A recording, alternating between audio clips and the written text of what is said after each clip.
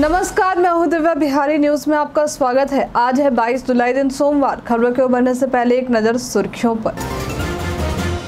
आज से शुरू हो रहा सावन। जाने सावन माह में शिवलिंग पर जल चढ़ाने का महत्व। आज से शुरू होगा बिहार विधानमंडल का मानसून सत्र। राज्य में एक दर्जन से अधिक पुल की हालत खराब। सर्वे में हुए कई खुलासे। बिहार में आई एक और बड़ी आईटी कंपनी, बियाडा ने उपलब्ध कराई ज़मीन। सरकारी स्कूल में पढ़ने वाले बच्चों का आधार सीडिंग अनिवार्य। इस आसान स्टेप्स की मदद से घर बैठे बनवा सकते हैं ऑनलाइन राशन कार्ड। हरमनप्रीत और रीचा घोष की तूफानी पारियों के दम पर महिला क्रिकेट टीम ने यूएई पे की शानदार जीत। अब चले बढ़ते हैं अब तक के 25 बड़ी खबरों की ओर विस्तार से। रेलवे ने दसवीं पास उम्मीदवारों के लिए निकाली भर्ती। रेलवे द्वारा 2424 पदों पर भर्ती निकाली गई है। भर्ती के लिए आवेदन प्रक्रिया शुरू है और आवेदन करने की अंतिम तारीख 15 अगस्त है। इच्छुक उम्मीदवार इसकी आधिकारिक website H T T P S slash slash R R C C R dot com पर जाकर आवेदन कर सकते हैं। इस भर्ती के लिए शैक्षणिक योग्यता की बात करें तो ज़रूरी है कि आपने 50 प्रतिशत अंकों के साथ दसवीं पास किया हो। साथ ही संबंधित ट्रेड में एनसीबीटी या एससीबीटी द्वारा जारी राष्ट्रीय व्यापार प्रमाण पत्र प्राप्त किए उम्मीदवारों की आयु सीमा 15 से 24 वर्ष के बीच में होनी चाहिए। उम्मीदवारों का चयन मेरिट लिस्ट और डॉक्यूमेंट वेरिफिकेशन के माध्यम से किया जाएगा। भर्ती से संबंधित सटीक और अधिक जानकारी के लिए आप इसके आधिकारिक वेबसाइट अधिसूचना को देख सकते हैं। आज से शुरू हो रहा सावन। जाने सावन माह में शिवलिंग पर जल चढ़ाने का महत्व। आज 22 जुलाई से भगवान भोलेनाथ का प्रिय महीना सावन का आरंभ होने जा रहा है।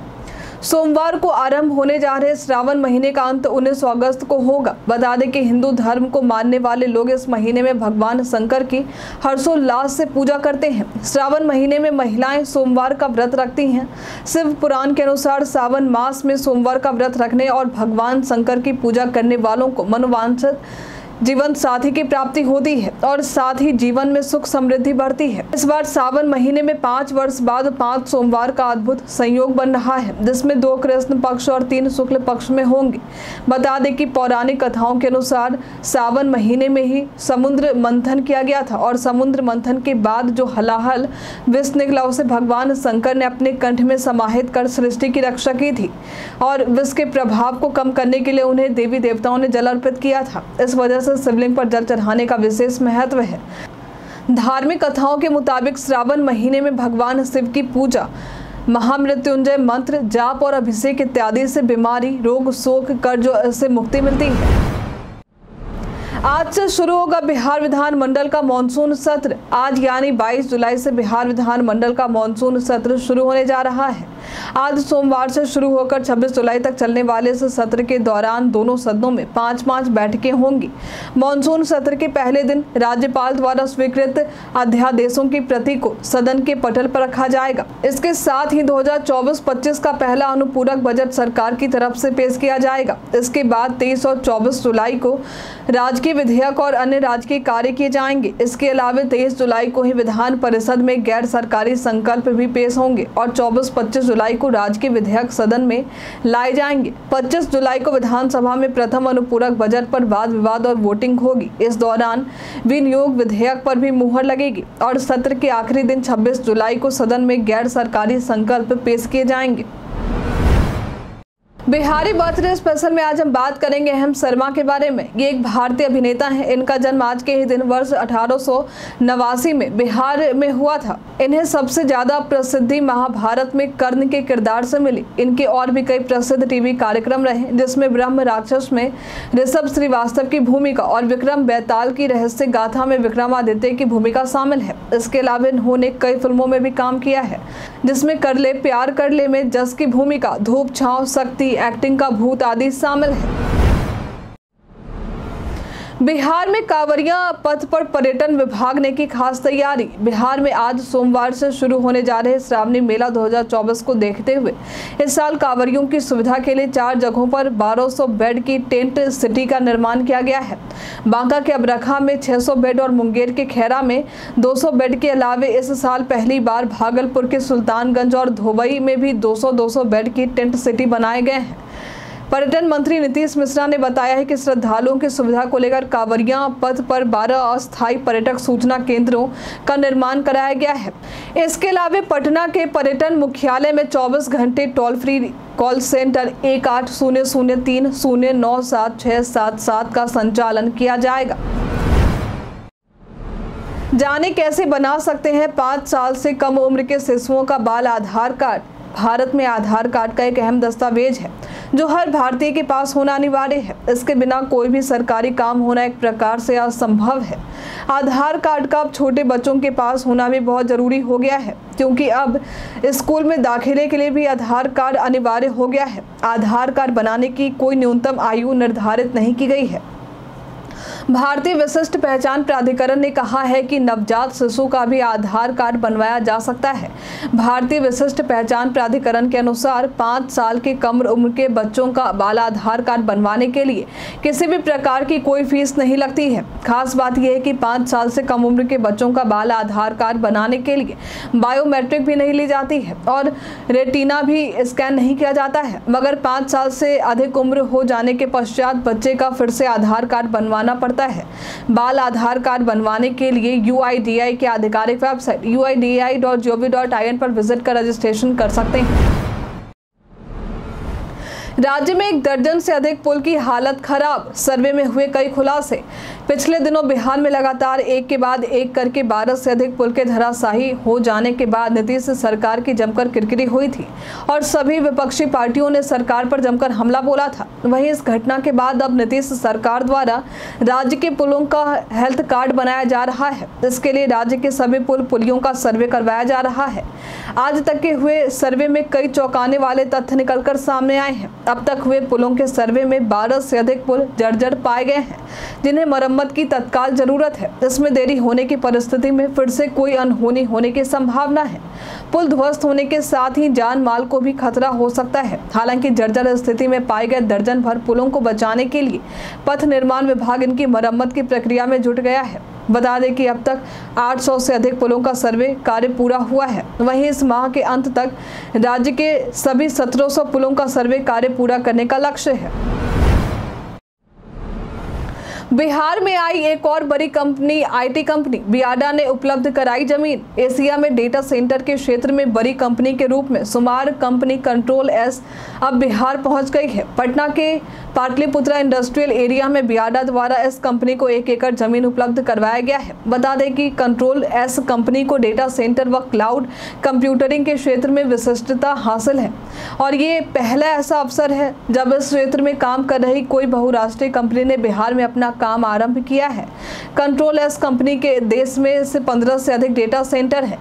ये फॉर्चून कंपनियों की सूची में शामिल बीस और सौ बहुराष्ट्रीय कंपनियों को अपनी सेवा उपलब्ध करवा रही है। बता दें कि राज्य सरकार द्वारा अब जब से आईटी सेक्टर की कंपनियों को बियाडा के माध्यम से ज़मीन उपलब्ध कराने का निर्णय लिया गया है, तब से ही बिहार में आईटी कंपनियों ने दिलचस्पी लेना आरंभ किया है। बिहार पैटर्न में आज हम बात करेंगे नवलखा पैलेस के बारे में। ये पैलेस राजनगर पैलेस के नाम से भी जाना जाता है, जो बिहार के मधुबनी के पास राजनगर में स्थित है। इसका निर्माण दरभंगा के महाराजा रामेश्वर सिंह द्वारा करवाया गया था। इसकी नक्काशी देखते बनती है। इसका काली मंदिर हाथी दांत और सफ़ेद संगमरमर से बना है, जो ताजमहल जैसा दिखता है। पोर्टिको में सीमेंट से बने चार हाथियों पर खड़े मेहराब है और कथित तौर पर ये भारत में पहली सीमेंट संरचनाओं में से एक है। सबसे पुरानी जीवित मिथिला पेंटिंग महल के गसौनी घर में पाई जाती है। महाराजा की बेटी की शादी के अवसर पर उन्नीस सौ उन्नीस में निर्मित महल के बहुत कम लिखित या फोटोग्राफिक रिकॉर्ड सरकारी स्कूल में पढ़ने वाले बच्चों का आधार सीडिंग अनिवार्य। आधार सीडिंग करवाना सरकारी स्कूल में पढ़ने वाले बच्चों के लिए अनिवार्य कर दिया गया है। यदि बच्चों का आधार सीडिंग होता है तो सरकारी योजनाओं का लाभ इन बच्चों तक पहुँचाने में आसानी होगी। साथ ही जिन बच्चों का स्कूल में दोहरा नामांकन करवाया गया है, वे भी आसानी से पकड़ में आ सकेंगे। प्राथमिक शिक्षा निदेशक मिथिलेश मिश्र ने भी सभी जिलों को इस संबंध में निर्देश जारी कर दिए हैं। निर्देश जारी करते हुए उन्होंने बताया है कि बच्चों के आधार कार्ड बनवाने में उनके अभिभावक अभिभावकों को किसी प्रकार की परेशानी ना हो। इसके लिए राज्य के प्रत्येक प्रखंड में दो आधार केंद्र काम कर रहे हैं। दोनों ही आधार केंद्र पर हर प्रखंड के दो अलग अलग स्कूल में चल रहे हैं। अब तक सरकारी स्कूलों के सड़सठ प्रतिशत बच्चों के आधार कार्ड बन चुके हैं।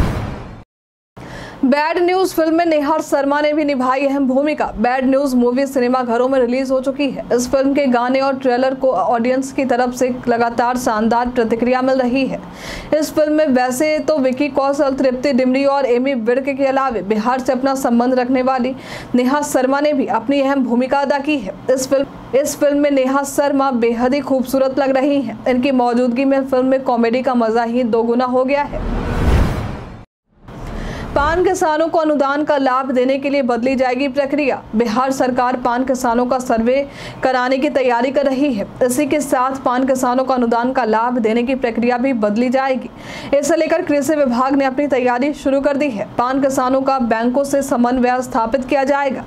साथ ही इनका किसान क्रेडिट कार्ड भी बनेगा। पान किसानों की आर्थिक स्थिति अच्छी हो, इसके लिए आच्छादन क्षेत्र का विस्तार करने की पहल भी की जाएगी। इस संबंध में कृषि मंत्री मंगल पांडे ने बताया है कि वित्तीय वर्ष 2025-26 तक पान विकास योजना के तहत कुल बयालीस दशमलव पचास हेक्टेयर में पान के क्षेत्र विस्तार के लिए पाँच करोड़ रुपए की स्वीकृति दी गई है। पान की खेती को बढ़ावा देने के लिए और किसानों की आय में वृद्धि के लिए बरेजा के निर्माण का अनुदान प्रावधान किया गया है।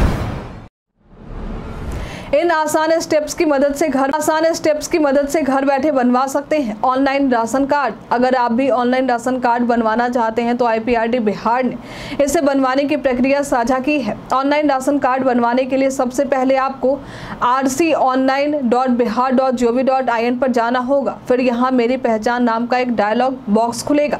अगर आप यहाँ नए यूज़र हैं तो साइन अप फॉर मेरी पहचान पर क्लिक करेंगे। फिर अपने परिवार के मुख्य सदस्य, यानी मुखिया का नाम रजिस्ट्रेशन फॉर्म पर भरेंगे। मोबाइल नंबर डालकर गेट ओटीपी के ऑप्शन पर क्लिक करेंगे, फिर ओटीपी इस पर सबमिट कर दें।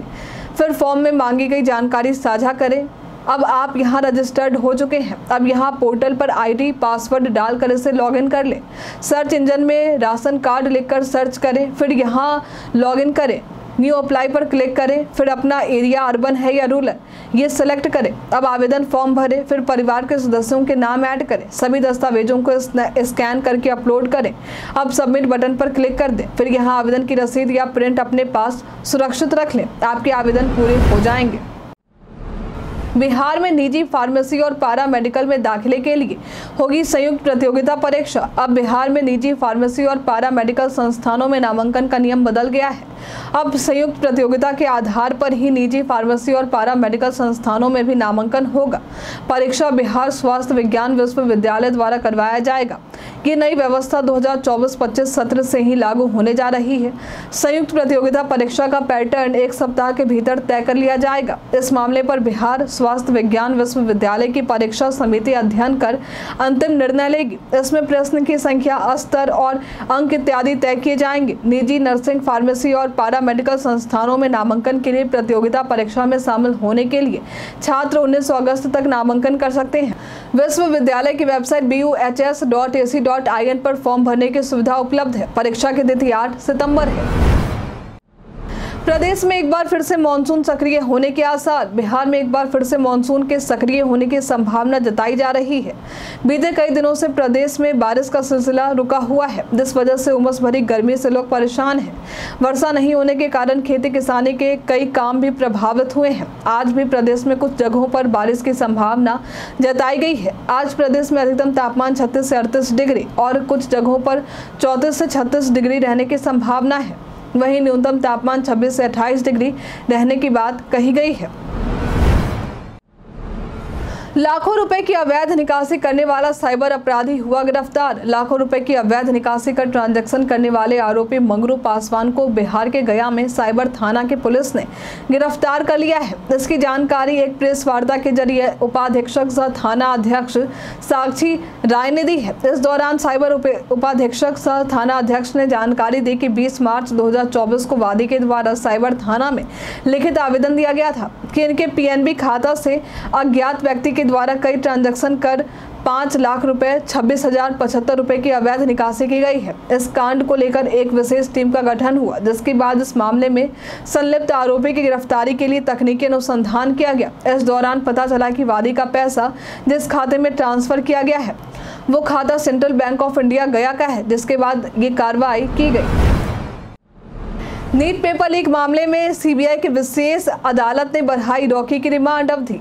नीट पेपर लीक मामले में रविवार को सीबीआई ने पटना में कुल नौ आरोपियों को रिमांड पर लेकर उनसे पूछताछ की है। दिन में से चार पटना एम्स के स्टूडेंट हैं, जबकि एक रांची रिम्स की छात्रा है। इसके अलावा बिचौलिए सुरेंद्र, पंकज राजू, रॉकी से भी पूछताछ की गई है। सीबीआई को स्टूडेंट्स पर शक है कि परीक्षा माफिया ने इन पर इनसे प्रश्न पत्र सॉल्व करवाए थे। सुरेंद्र स्टूडेंट्स और परीक्षा माफिया के बीच मिडिल मैन है, जबकि पंकज पर प्रश्न पत्र चोरी का आरोप है। वहीं रॉकी संजीव मुखिया का रिश्तेदार है, जिस पर शक है कि इसने झारखंड में स्टूडेंट्स से पेपर सॉल्व करवाए और उसके बाद अभ्यर्थियों को रटने के लिए दिया। इन आरोपियों से आगे भी पूछताछ जारी रहेगी। वहीं शनिवार को पटना में सीबीआई की विशेष अदालत ने रॉकी की रिमांड अवधि को चार दिन के लिए और बढ़ा दिया है। रॉकी की निशानदेही पर सीबीआई लगातार संजीव मुखिया को पकड़ने के लिए कार्रवाई कर रही है।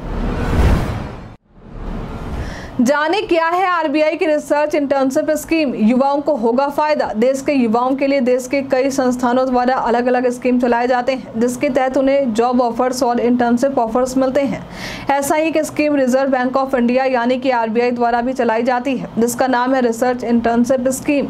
इस स्कीम के तहत एलिजिबल युवाओं को आरबीआई में इंटर्नशिप करने का मौका मिलता है। इस स्कीम के तहत युवाओं को न सिर्फ़ आरबीआई जैसी बड़ी संस्था में काम करने का मौका मिलता है, बल्कि हर महीने अच्छे खासे स्टाइपेंड स्टाइपेंड भी दिए जाते हैं। इकोनॉमिक्स, बैंकिंग या फाइनेंस के क्षेत्र में अपना करियर बनाने की इच्छा रखने वाले युवा इस स्कीम के लिए आवेदन कर सकते हैं। आवेदन करने के लिए आवेदक के पास बैचलर्स डिग्री होनी ज़रूरी है। इसके साथ ही एक साल की मास्टर्स या फिर बीटेक या बीई डिग्री भी होनी ज़रूरी है। हर साल आरबीआई के इस स्कीम के तहत दस इंटर्न्स को चुना जाता है। जिसकी अवधि छह महीने की होती है और इसे बढ़ाकर दो साल भी किया जा सकता है और हर महीने इंटर्न को पैंतीस हज़ार रुपए का स्टाइपेंड भी दिया जाता है। नालंदा की तर्ज पर भागलपुर के विक्रमशिला विश्वविद्यालय का होगा पुनरुद्धार। नालंदा विश्वविद्यालय के तर्ज पर अब भागलपुर के विक्रमशिला विश्वविद्यालय का भी पुनरुद्धार किया जाएगा। भाजपा प्रदेश अध्यक्ष और उप मुख्यमंत्री सम्राट चौधरी ने इसकी घोषणा की है। सम्राट चौधरी ने कहा है कि शिक्षा के प्राचीन केंद्र विक्रमशिला विश्वविद्यालय को एनडीए सरकार गौरवशाली बनाएगी। आम बजट पेश होने से पहले जदयू ने बीजेपी की बढ़ाई टेंशन। केंद्र सरकार तेईस जुलाई को अपना आम बजट पेश करेगी, लेकिन इससे पहले बीजेपी की टेंशन बढ़ सकती है, क्योंकि आम बैठक से पहले सर्वदलीय बैठक हुई, जिसमें एनडीए के सहयोगी जदयू भी मौजूद थी। इस बैठक में जदयू ने बिहार को विशेष राज्य का दर्जा देने की मांग उठाई है। बिहार को विशेष राज्य का दर्जा दिए जाने की मांग पर वाई ने भी आंध्र प्रदेश को विशेष राज्य का दर्जा देने की मांग उठाई है। इस सर्वदलीय बैठक को लेकर कांग्रेस नेता जयराम रमेश ने कहा कि रक्षा मंत्री राजनाथ सिंह की अध्यक्षता में हुई फ्लोर नेताओं की सर्वदलीय बैठक में जदयू नेता बिहार का विशेष राज्य को का दर्जा देने की मांग की है। वाईएसआरसीपी नेता ने आंध्र प्रदेश को विशेष राज्य का दर्जा देने की मांग की। अजीब बात है कि टीडीपी नेता इस मामले में चुप रहे। रुपौली से उपचुनाव जीतने वाले शंकर सिंह ने सीएम नीतीश का किया समर्थन। पूर्णिया के रुपौली से उपचुनाव जीतने वाले निर्दलीय विधायक ने सीएम नीतीश को लेकर बयान दिया है। भास्कर से बातचीत करते हुए उन्होंने कहा कि सीएम नीतीश के कामकाज से वे प्रभावित हैं। उन्होंने बिहार के विकास के लिए अच्छा काम किया है। उनके नीतियों का समर्थन करता हूँ। बीते कई दिनों से शंकर सिंह के जदयू के संपर्क में रहने की खबर थी, लेकिन अब मीडिया से बातचीत करते हुए शंकर सिंह ने नीतीश कुमार को समर्थन देने का फैसला किया है। खबर है कि जल्द ही ये जदयू के मंच पर आधिकारिक रूप से देख सकते हैं। हालाँकि इसे लेकर कोई भी आधिकारिक घोषणा नहीं की गई। हरमनप्रीत और रीचा घोष के तूफानी पारियों के दम पर महिला क्रिकेट टीम ने यूएई पे की शानदार जीत। रविवार को भारत और यूएई के बीच खेले गए एशिया कप 2024 के मैच में भारतीय महिला क्रिकेट टीम ने शानदार जीत की है। और साथ ही रीचा घोष और कप्तान हरमनप्रीत की तूफानी पारी के दम पर भारत ने वो मुकाम हासिल किया है, जो टी ट्वेंटी इंटरनेशनल में अभी तक किसी को भी हासिल नहीं था। एशिया कप 2024 में टीम इंडिया ने यूएई के खिलाफ खेले जा रहे मैच में निर्धारित 20 ओवर में पाँच विकेट खोकर 201 रन बनाए हैं। रीचा ने उनतीस गेंदों में 12 चौकी और एक छक्के की मदद से नाबाद चौसठ रनों की पारी खेली। वहीं कप्तान हरमनप्रीत ने सैतालीस गेंदों पर सात चौकी और एक छक्के की मदद से छियासठ रन बनाए। इन दोनों की पारियों के दम पर भारत ने महिला क्रिकेट में पहली बार टी इंटरनेशनल में 200 से अधिक का स्कोर बनाया है।